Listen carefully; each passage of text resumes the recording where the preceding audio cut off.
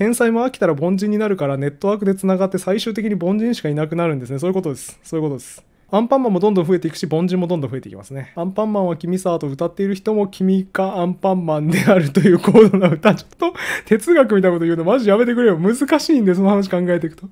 歌っている人も君かアンパンマンであることはすでに間違いない。そうだね。脳のネットワーク仮説で。そういうことですね。だからなんか自己言及のパラドックスみたいなことになってしまいますよね。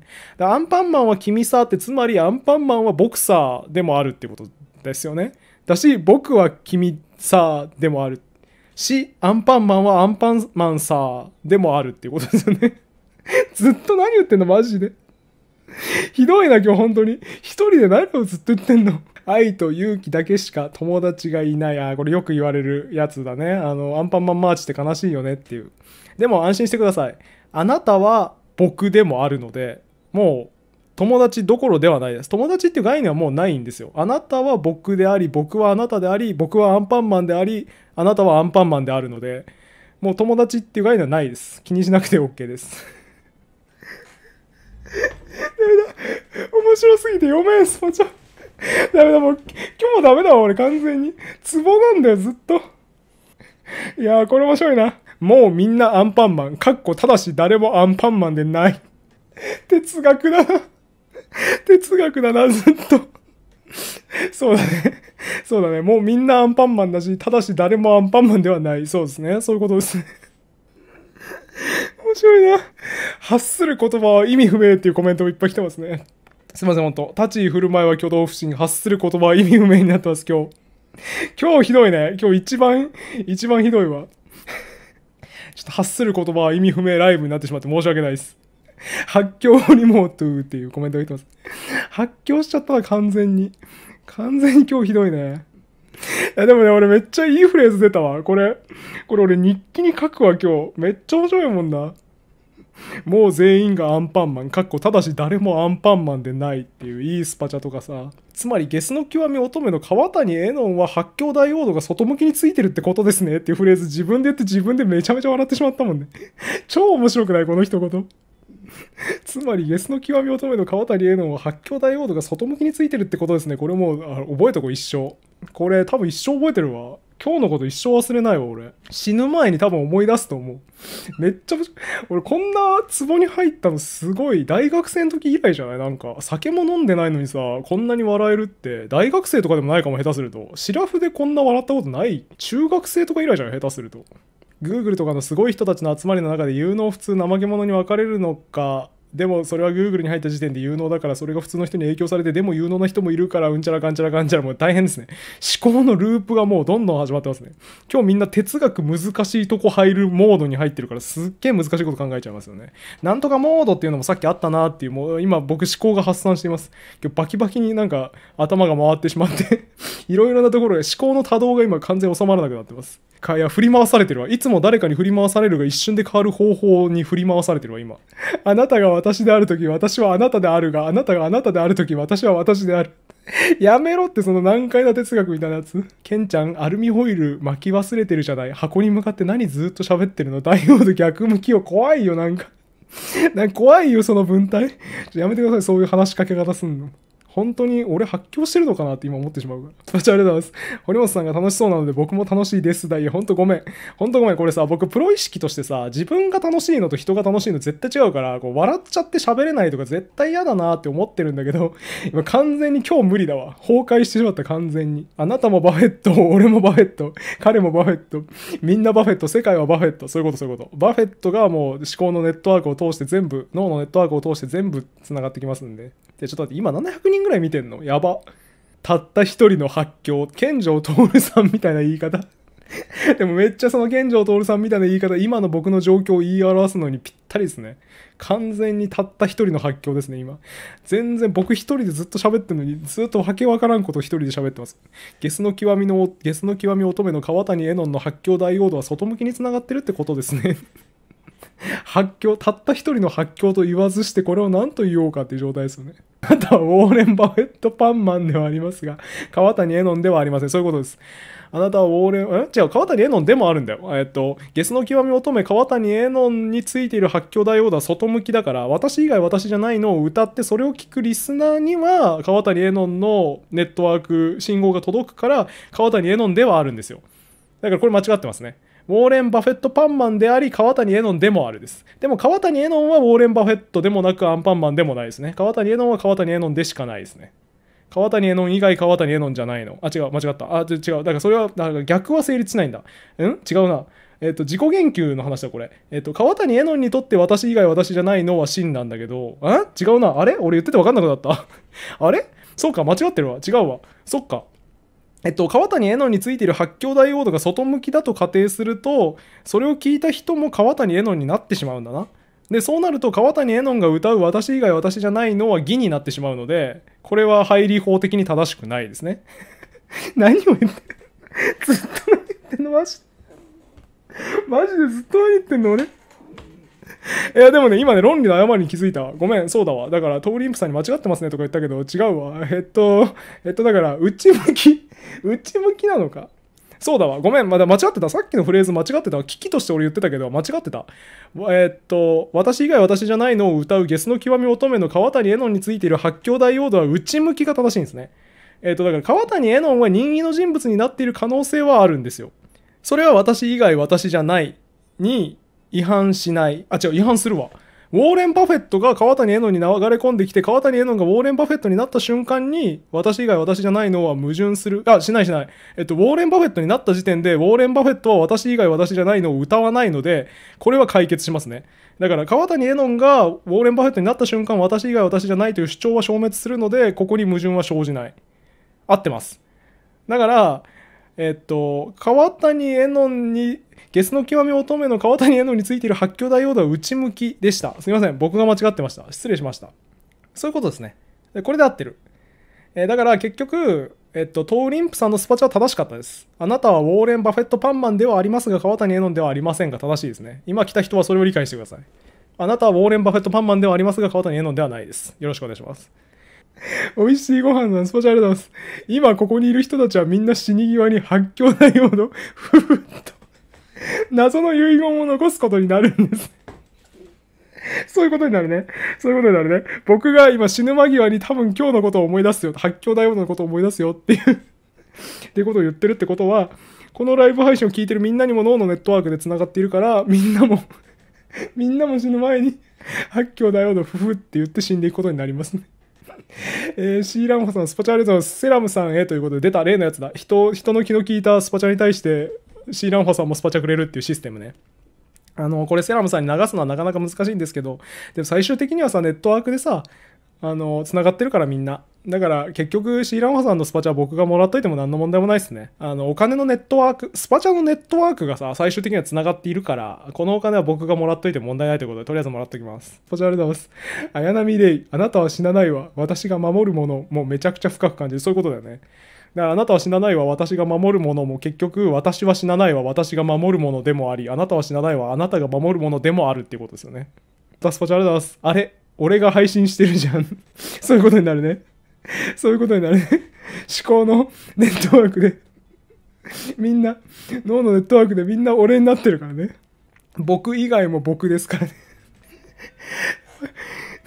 ピンポン言ってる。やばい。誰か来ちゃった。誰か来ちゃった。あの、私が来ちゃいましたね。私が、これ荷物かな？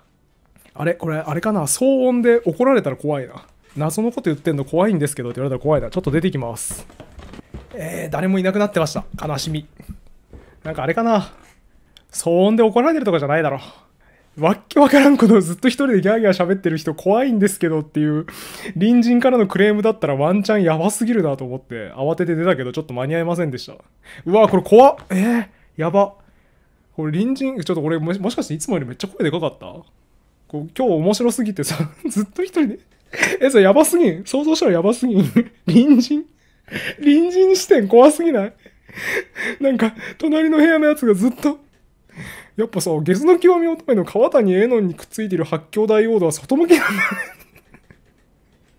隣人がその話、一人でずっと息つく間もなく喋ってたら怖すぎないか？まあでも大丈夫ですよね。隣人の脳にも結局僕が繋がっているわけで、隣人も僕であるわけですから、何の問題もないですね。それは結局怖くないですよね、隣人からしても。隣人は僕であり、僕は隣人でもあるわけですから。ちょっともうやめよう。もうやめよう。ダメだ、もう今日、今日ダメだな。もう終わるか、今日。全然読み終わんなさそうだけどな。今日途中で終わってもいいか。いやー、大変だな。スパチャ全然追いつかん。全く読めてないじゃん。ちょっと慌てて読もう。スパチャ追いつこう。とりあえずさすがに、ちょっとスパチャ投げてくれた人は、えー、読んどきましょう。えー、こうは人に広がるからどんどん広がって最終的にラプラスの悪魔並みの計算能力になってそれが人類に未来を見せて世界の滅亡を防いでる。そういうことですよ。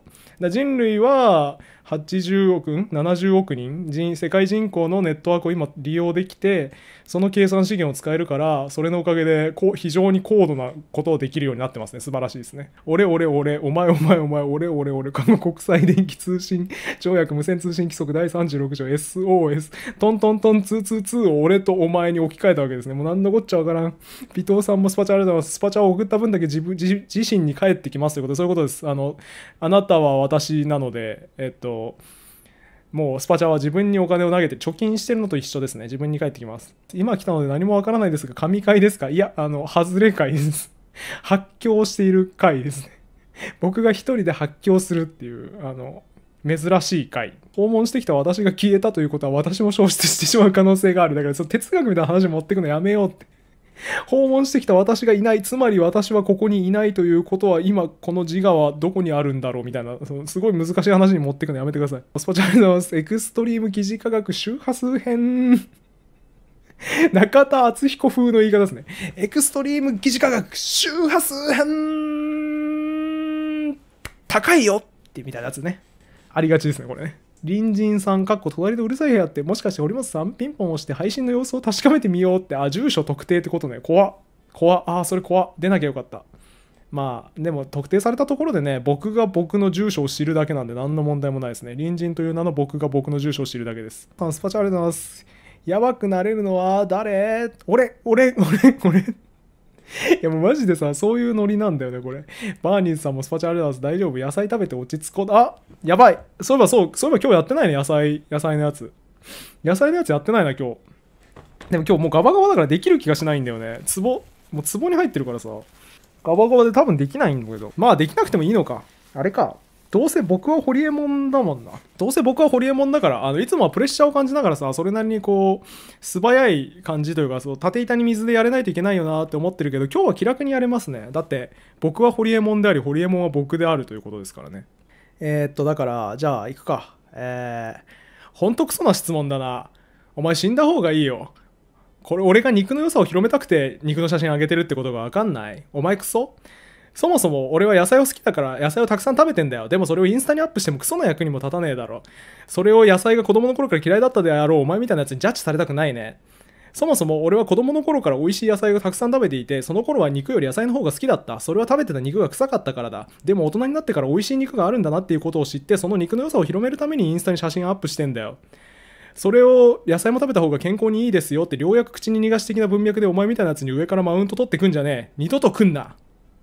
みたいな感じですね。ちょっと最後間違ったわ。でも結構良かったんじゃない？やっぱあれだわ。俺、ホリエモンだわ。ちょっと最後さ、今着地点を迷いながら喋っちゃったんだよね。お前みたいなやつに、えー、上からようやく口逃がし的な文脈で上からマウント取られたくないねっていう、ま、末尾に着地すんのに、お前みたいなやつに入れちゃったせいで、なんかこう、文と文のこの着地が合ってない。主語と述語が一致してないみたいな状態になっちゃって、ちょっとそこで減点でしたね。縦板に水度は良かったと思います。ちょっとやっぱ俺はホリエモンだなっていうことが今分かりましたね。僕ドラえもん、俺ホリエモンっていうコメント来てますね。確かに。確かに、俺ホリエモンだなって何も意識しないで言いましたけど、完全に僕ドラえもんの言い方でしたね。はあ、ひどいな、これ。堀本さんが配信で発狂している時、ネットワークで繋がっている徳間の担当者もまた発狂している。そういうこと。ね、善悪の悲願ね。発狂の悲願ですよね、これは。スパチャありがとうございます。今来た初見です。切り抜きしか見たことないです。何にもわからないけど笑ってます。いや、ほんとね、今日ひどい。今日ほんとね、何にもわからないと思う。熟練の人たちも何にもわからないと思う。俺も何言ってるかわからないもん。ひどかったよね。何も進んでない。ここ1時間で6ページぐらいしか進んでない。スパチャありがとうございます。声がガスガスになってる気がするので、龍角散のダメだ。マジでそう。今日喉ケアしないと終わった後。一番笑ってしまった、これ。近くの人が死んだ場合、その人の自我が消失するので、自分が自我がない空っぽの状態になるから、その状態の人間に情報が入り込んでくるから脳が耐えきれなくなり脳死する。そしてまた近くの人が以下無限ループ。そういう哲学、哲学的なやつね。哲学っていうか SF っぽいね、それ。SF、SF っぽいの始まりましたね。そういうのありそうだよね。なんか、その、他人と脳がネットワークで接続された世界みたいなやつで、でもこれってつまりこうやって脳死した人間をこういう場所に持っていけば他の人間も脳死させることができるんじゃないかみたいなハックに気がついてそれをやろうとする。そしてそれを阻止しようとする主人公みたいな SF ありそうですよね。であれば堀本さんも前科者であり私も前科者である。しかし堀江門は前科者ではない瞬間もある。そういうことそういうこと。そういうことです。ちょっと続き続きがちで。だからえっと話戻すと2割の働かないアリは2割のストレスを押し付けられているから働けないんですよね。そういうことですね。だからパフォーマンス出せないなとかっていう人は気にしなくて大丈夫です。あなたの能力がないとかじゃなくて、働けている人のストレスを背負ってるだけです。スパチャありがとうございます。みんなホリエモンかっこただし誰もホリエモンでないその哲学問答みたいなやつね。えー、尾藤さんもスパチャありがとうございます。私がごまき。そういうことです。ごまき。尾藤さんはごまきであり、ごまきは尾藤さんでもあります。そしてごまき以外の人でもあります、尾藤さんは。